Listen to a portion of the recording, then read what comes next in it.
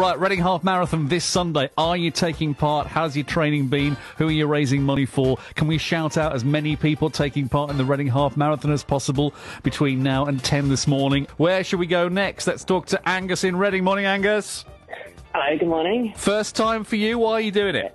Yeah, it is my first time. Um, well, I think I was sitting in a pub about two years ago before the pandemic, and I kind of like got all my friends to think, "Oh, let's go do the Reading Mar- half marathon," and then I forgot about it during the pandemic, and I started getting the emails five weeks ago saying it's happening. So I Right. thought I should probably get back into it. It's very dangerous, isn't it, when people say, you know, when everyone's having a drink and having a laugh, oh, you should do a half marathon. Do a half marathon. Yes, I'll do the half marathon. Then if you're not careful, you have to do it. Yeah, well, exactly. Thankfully, I live close, close to the start line, so I've actually been trying to run the route.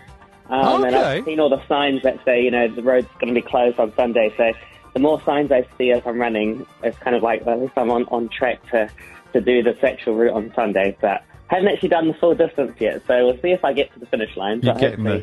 You sound pretty Yeah. excited, though, to be honest. You sound pretty up for it. Yeah, uh, it'd be a good thing to do, I think. Yeah, well, good luck. Thank you, Aonghas.